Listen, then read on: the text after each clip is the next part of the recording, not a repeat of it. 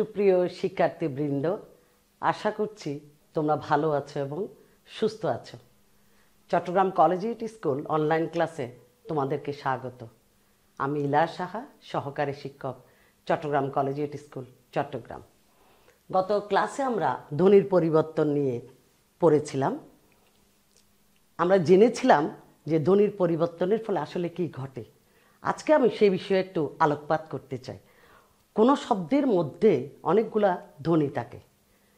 সেই ধ্বনি আমরা উচ্চারণ করি বাকযন্ত্রের সাহায্যে। বাকযন্ত্রের একটা অংশ হচ্ছে জিওবা আর সেই জিওবা কী করে? ধ্বনিগুলাকে উচ্চারণ করার সময় খুব সহজে উচ্চারণ করতে চায়, অথবা খুব দ্রুত উচ্চারণ করতে চায়। এর ফলে কি হয়? শব্দের মধ্যে নূতন নূতন ধ্বনির আগমন ঘটে, অথবা শব্দের মধ্য থেকে কোনো ধ্বনি লোপ পায় আবার দেখা যায় একটা ধ্বনির প্রভাবে আরেকটা ধ্বনি বদলে যায়। অথবা একটা ধ্বনির প্রভাবে আরেকটা ধ্বনি সঙ্গতি লাভ করে। কেমন? তাইলে ধ্বনির পরিবর্তনের, এই যে রূপ পরিবর্তন হচ্ছে, এটাকেই বলা হচ্ছে ধ্বনির পরিবর্তন। গত ক্লাসে আমরা ধ্বনির পরিবর্তনের ধ্বনি বিপর্যয় পর্যন্ত পড়েছিলাম। ধ্বনি বিপর্যয়।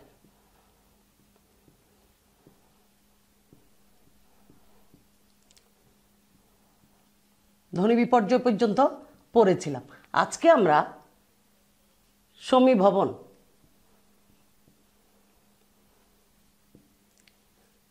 থেকে শুরু করব সমীভবন।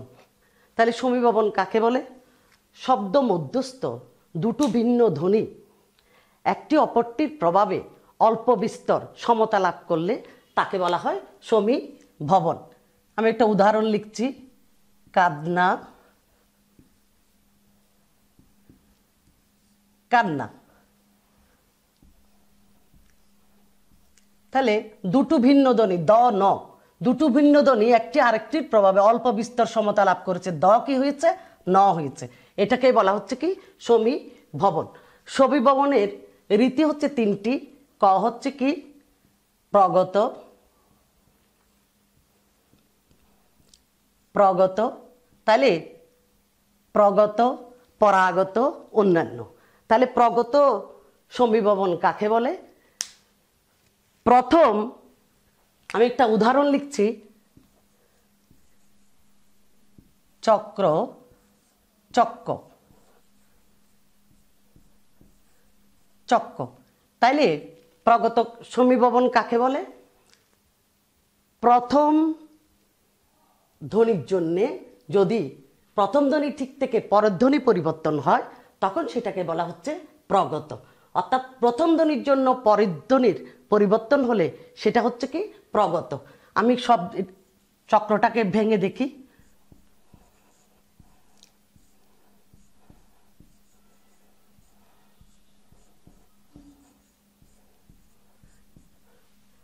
চ যোগ, ক যোগ ক যোগ, র যোগ, অ, চক্র। কেমন?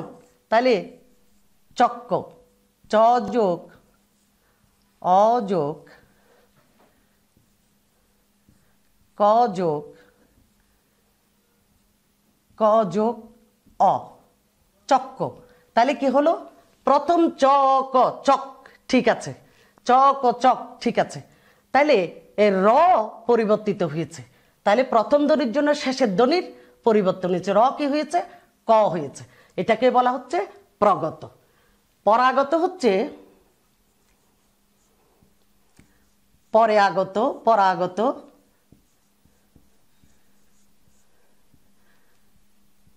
যেমন জন্ম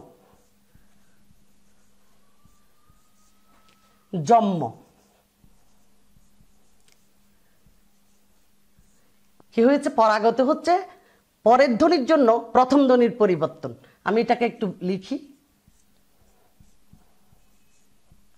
জ যোগ অযোগ ন যোগ ম অ।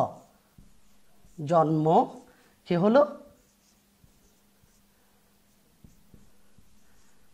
অযোগ ম যোগ যোগ, অ। কেমন? তাহলে দেখো, এখানে প্রথম ধ্বনি জ, ন। তাইলে প্রথম ধ্বনি কি হয়েছে? জ, ম হয়ে গেছে। পরের ধ্বনি কিন্তু ম ম, ঠিক আছে। তাহলে পরের ধ্বনির জন্য প্রথম ধ্বনির পরিবর্তন হয়েছে। ন, ম হয়ে গেছে। ন, ম হয়ে গেছে। এটাকে বলা হচ্ছে কি? পরাগত। অন্যান্য কি? অন্যান্য সমীভবন কি? সেটা হচ্ছে পূর্বধ্বনি এবং পরধ্বনি উভয় উভয়ের দ্বারা পরিবর্তিত হয়। অর্থাৎ এখানে একবার প্রগত হয় আর বার পরাগত হয়। কেমন? পূর্বধ্বনি, পরধ্বনি দুটোটাই কিন্তু পরিবর্তিত হয়, উভয় উভয়ের দ্বারা পরিবর্তিত হয়। এটাকে বলা হচ্ছে অনন্য সমীভবন। যেমন, সত্য, স্বচ্ছ। খুবই গুরুত্বপূর্ণ। তাহলে সত্য, স্বচ্ছ কি হচ্ছে দেখো?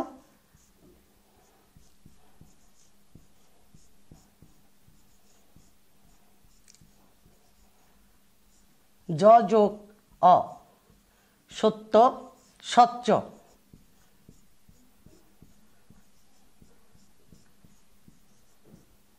যোগ অ। তাহলে খেয়াল করো। শেষের ধ্বনির জন্য, প্রথম ধ্বনির জন্য শেষের ধ্বনি পরিবর্তন হয়েছে। তয়ের জন্য জ পরিবর্তন হয়ে চ হয়েছে। এটা হচ্ছে কি? প্রগত। ত প্রথম ধ্বনি পূর্বধ্বনি পরধ্বনি জ তাহলে পূর্বধ্বনি ঠিক আছে, পরের ধ্বনি জ, চ হয়েছে। এটা হচ্ছে প্রগত। আবার জ শেষের ধ্বনি, জন্য পূর্বধ্বনির পরিবর্তন হয়েছে, ত, চ হয়েছে। এটা হচ্ছে তোমার পরাগত। তাহলে অনন্য কি? যে পূর্বধ্বনি এবং পরধ্বনি উভয় উভয়ের দ্বারা পরিবর্তিত হয়। এখানে প্রগত এবং পরাগত দুটোই হয়।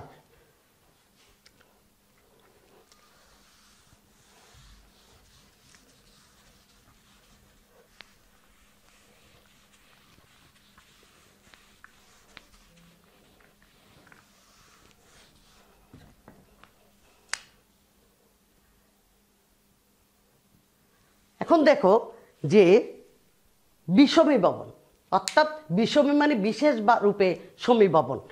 তাহলে বিষমী ভবন কি কাকে বলে?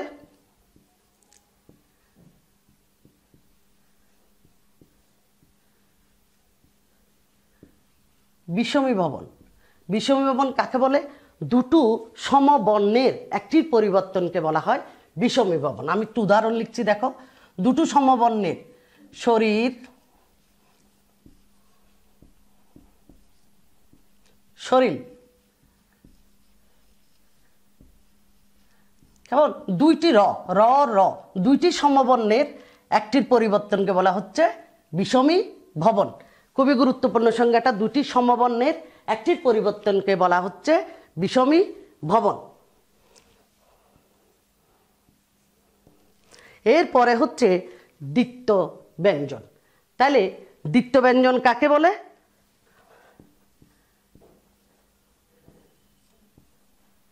দ্বিত্ব ব্যঞ্জন।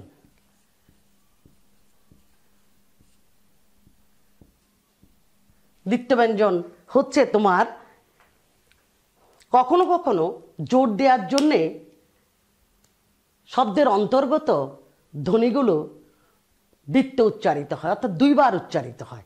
সেই জন্য এগুলাকে বলা হচ্ছে দ্বিত্ব ব্যঞ্জন বা ব্যঞ্জন দ্বিত্ব তাহলে কি? কখনো কখনো জোর দেওয়ার জন্য শব্দের অন্তর্গত ধ্বনিগুলো আমরা দুইবার উচ্চারণ করি দ্বিত্ব উচ্চারণ করি। কীরকম? যেমন সকাল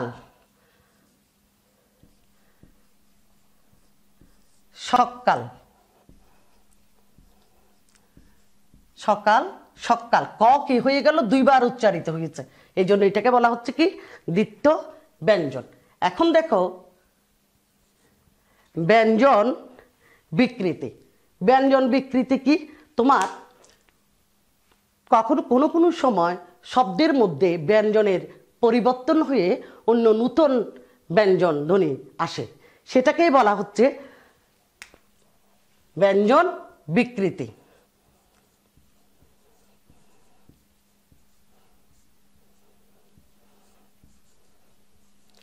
ব্যঞ্জন বিকৃতি। তাহলে ব্যঞ্জন বিকৃতি কাকে বলে? আমি আবার বলছি যে দেখা যায় শব্দের মধ্যে কোনো কোনো সময় ব্যঞ্জন পরিবর্তিত হয়ে নূতন ব্যঞ্জন আসে। সেই নূতন ব্যঞ্জন আসা কোনো কারণ ছাড়াই অনেক সময় নূতন ব্যঞ্জন কি হয়? ব্যঞ্জনধ্বনি ব্যবহৃত হয়। সেটাকেই বলা হচ্ছে তোমার ব্যঞ্জন বিকৃতি। কীরকম? কপাট,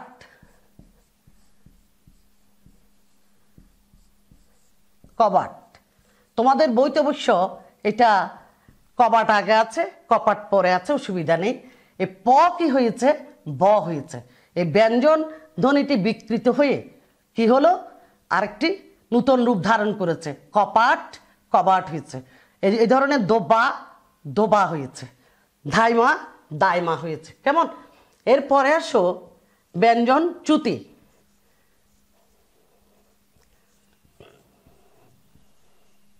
চ্যুতি। চ্যুতি মানে হচ্ছে লোপ পাওয়া। কেমন? ব্যঞ্জন চ্যুতি। যদি শব্দের মধ্যে দুটো সমবর্ণের ব্যঞ্জন ধ্বনি থাকে এবং শেষের ধ্বনিটি লোপ পায়, সেটাকেই বলা হচ্ছে ব্যঞ্জন চ্যুতি। যেমন, বড় দিদি। তাহলে সঙ্গে অনুযায়ী কি বললাম? দুটি সমবর্ণের যদি থাকে, শেষের বর্ণটি যদি লোপ পায় সেটাকে বলা হচ্ছে ব্যঞ্জন, চ্যুতি। বড় দিদি, বড়দি। ব্যঞ্জন, চ্যুতি। কেমন? এরপরে আসো। অন্তর্হতি। অন্তর্হতি। অন্তর্হতি, খুবই গুরুত্বপূর্ণ। অন্তর শব্দের অর্থ হচ্ছে মধ্যে বা মাঝখানে। আর হতি হচ্ছে বাদ দেওয়া বা লোপ পাওয়া। কীরকম?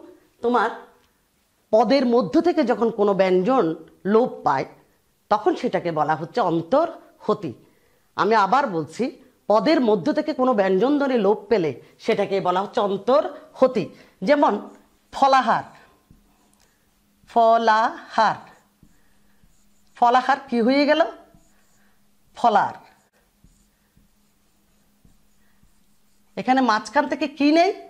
হ আকারটা নেই, ফলার হয়ে গেছে। একইভাবে ফাল্গুন, ফাগুন আলাহিদা আলাদা। কেমন? অন্তর্হতি এরপরে আসো অবিশ্রুতি।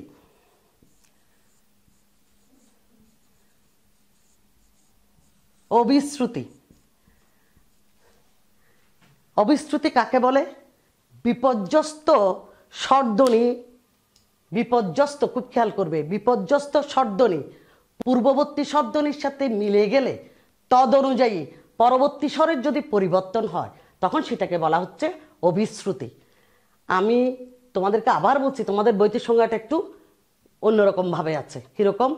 বিপর্যস্ত শব্দনি পূর্ববর্তী শব্দনির সাথে মিলে গেলে তদ অনুযায়ী পরবর্তী স্বরের পরিবর্তন ঘটলে সেটাকে বলা হচ্ছে অবিশ্রুতি আমি একটু উপরে লিখছি উদাহরণটা।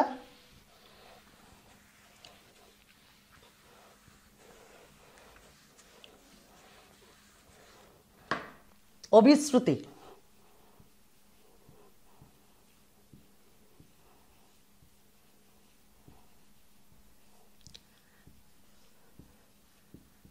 অবিশ্রুতি। উদাহরণটা কি দেখো শুনিয়া শুনিয়া শুইনা শুনে। তাহলে কি হলো? আমি একটু আগে লিখি এটা। স, যোগ, উ, যোগ, ন, যোগ, হস্যই, যোগ, অন্তস্থ, অ, যোগ, আ। কি হলো? শুনিয়া। তাহলে শুই না। স, যোগ রসু যোগস্বই যোগ, ন, যোগ, আ। আমি শুনেটা একটু এখানে লিখছি। স যোগস্বু যোগ ন যোগ এ। তাহলে দেখো ওইটা কি হয়েছে? শুনিয়া। এটা একটা সাধু ভাষার শব্দ, শুনিয়া। তাহলে বিপর্যস্ত সর্দনি বিপর্যস্ত সর্দনি এটা কি হচ্ছে শুই না আমরা জানি, অপিনীতি হয়েছে এটা। কেমন? শুই না অপেনীতি। উপনীতি হয়েছে, উপনীতি কাকে বলে? রস্যই রস্যও যদি আগে উচ্চারিত হয়, সেটাকে বলা হয় অপিনিহিতি, শুইনা। শুইনার পরে কি হলো? শুনে। শুনে হয়েছে কি বিপর্যস্ত শব্দনির পরে। কি হলো? শুনে। শুনে হচ্ছে অবিশ্রুতি। আসলে অভিশ্রুতি হচ্ছে অপিনিহিতির পরের পর্যায় বা পরের ধাপ। দেখো, স নয় ন, ই। এই, তাহলে কি ছিল? নয়ের পরে কিন্তু অশ্বইটা কিন্তু এখানে কি হয়েছে? শুই না। নয়ের আগে অশ্বইটা চলে আসছে। নয়ের আগে অশ্বইটা চলে আসছে। তাইলে এই অশ্ব এবং অশ্বই দোনোটা মিলে এটাকে কি করেছে? এই রস্বই যে আগে আসছে, এখানে পরে ছিল, এখানে আগে আসছে, এটা হচ্ছে অপিনিহিতি। এবং অশ্বই এবং রস্য দুটোটা মিলে এ হয়েছে। তাইলে এটা কি করেছে? পরিবর্তন করেছে এটাকে, এ করেছে। কেমন? বিপর্যস্ত শব্দনি কেমন? বিপর্যস্ত শব্দনি পূর্ববর্তী স্বরের প্রভাবে পূর্ববর্তী স্বরের সাথে মিলে গেলে তদ অনুযায়ী পরের স্বরের সাথে পরিবর্তন ঘটে। পরের স্বরের সাথে কি হয়? আমি আবার বলছি, বিপর্যস্ত শব্দনি পূর্ববর্তী শব্দনির সাথে মিলে গেলে তদ অনুযায়ী পরের শব্দনি পরিবর্তন ঘটলে তাকে বলা হচ্ছে অবিশ্রুতি।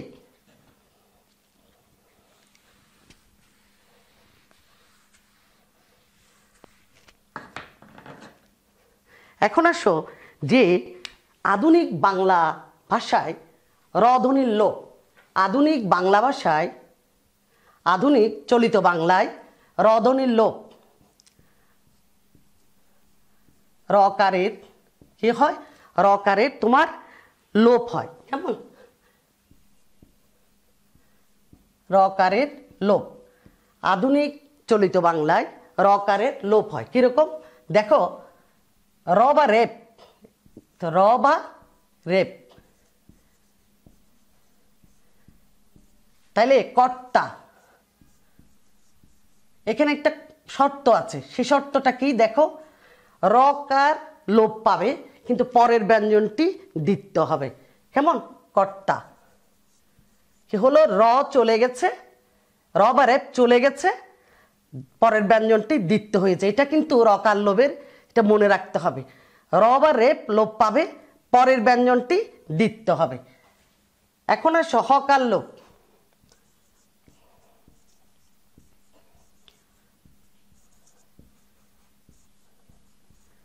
লোপ হকার লোক কি? গাহিল। গাহিল, গাইল। হটা নেই। গাইল।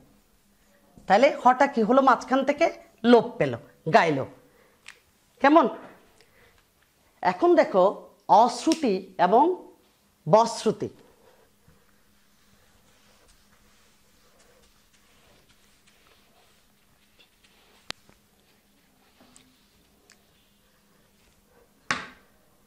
অশ্রুতি এবং বশ্রুতি।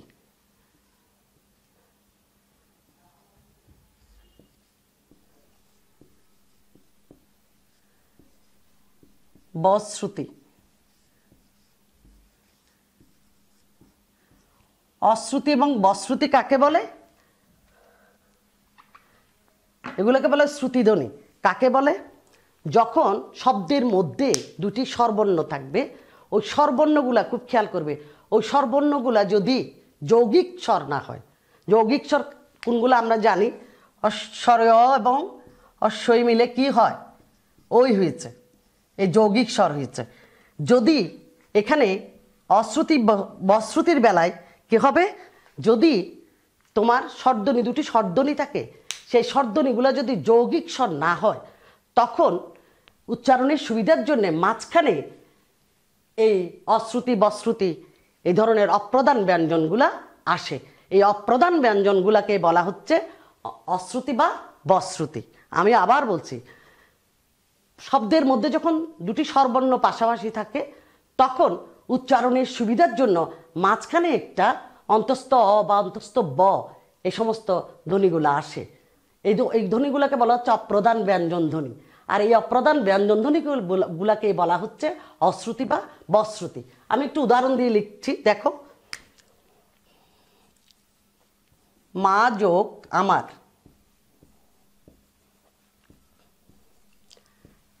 তাহলে এটা কে হলো? মায়ামার কীভাবে?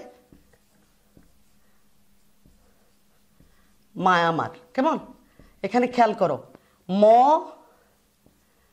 যোগ আ যোগ আ। ম যোগ, আ যোগ, র। কেমন? তাহলে ম যোগ আ, মা। আ, ম, আ, র। তাহলে মা আমার কি হবে? ম যোগ আ,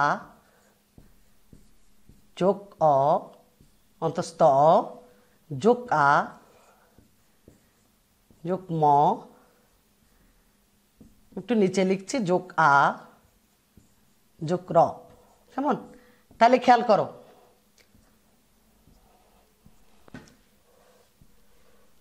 তাহলে দেখো, এই দুটি আমার সংজ্ঞার সাথে মিলতেছে কিনা দেখে, এই দুটি স্বরবর্ণ পাশাপাশি আছে। আ আ। কিন্তু এখানে গিয়ে কি এসছে? অন্তস্থ অ আসছে। মাঝখানে অন্তস্থ অ আসছে।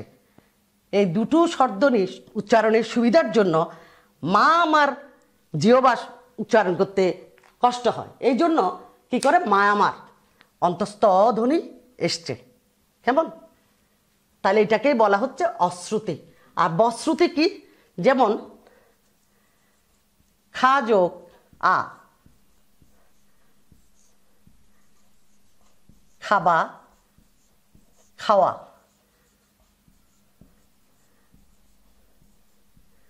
খাওয়া। তাহলে খ, জোকা যোগ আ তাহলে দুটো পরপর কি আছে? আ আছে। খা, যোগ, খ, যোগ আ, যোগ ব, যোগ আ। কি হলো? খ, যোগ আ, যোগ ও, যোগ অ।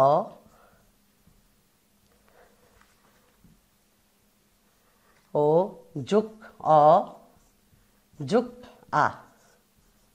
কেমন? তাহলে দেখো, এখানে কি? খ, আ আ, দুইটা শব্দনি। কিন্তু এখানে কি এসছে?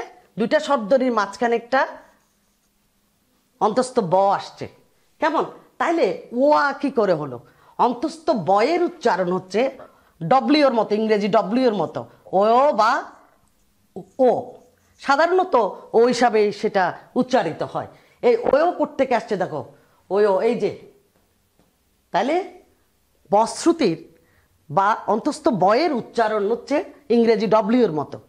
ও ও বা ও, বিশেষ করে ও উচ্চারণটাই হয়। এই জন্য খাওয়াতে ও অন্তস্থ আ আসছে। কেমন?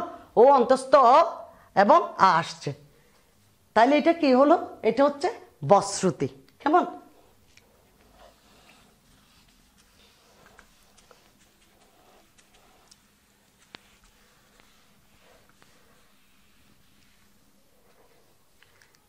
তাহলে এই আমি এতক্ষণ ধরে যে মানে পড়লাম, যা আলোচনা করলাম, তর মধ্য থেকে প্রশ্ন কীভাবে আসবে? প্রশ্ন আসবে সমীভবন কাকে বলে? পুরাটা দেয়া থাকবে, তোমরা জাস্ট লিখবে, বৃত্ত পূরণ করবে শুধু সমীভবন কাকে বলে? বিষমীভবন কাকে বলে? খুবই গুরুত্বপূর্ণ। দুটি সমবর্ণের একটির পরিবর্তনকে বলা হয় বিষমী ভবন। অন্তর্হতি কাকে বলে? পদের মধ্য থেকে ব্যঞ্জন লোপ পেলে তাকে বলা হয় অন্তর্হতি। আরেকটা প্রশ্ন তোমাদের আসবে যে আমি এই সত্য, গত ক্লাসে আমরা সত্য দেখেছি, সত্য, এটা পরীক্ষায় আসে, সত্য, সত্যি, এটা হচ্ছে কি তোমার অন্তঃসরাগম। আবার একটা সত্য দেখেছি কি? অপিনিহিতিতে। সত্য সত্য, অপিনিহিতি। আরেকটা আজকে সত্য দেখলাম কি? স্বচ্ছ। আরেকটা সত্য দেখলাম সমীভবনের আরেকটা সত্য দেখলাম সমীভবনের অনন্য সমীভবনের প্রশ্ন আসবে, নিচের কোনটি অনন্য সমীভবন অথবা প্রশ্ন আসবে, নিচের কোনটি পরাগত সমীভবন পরাগত কি? যে পরেরটার জন্য আগেরটার পরিবর্তন হলে সেটা হচ্ছে পরাগত। প্রগত হচ্ছে আগেরটার জন্য পরেরটার পরিবর্তন সেটা হচ্ছে প্রগত। প্রশ্ন আসতে পারে ব্যঞ্জনচ্যুতি নিচের কোনটি ব্যঞ্জনচ্যুতি অথবা নিচের কোনটি অন্তর্হতি? অথবা নিচের কোনটি হকারের লোভ হয়েছে?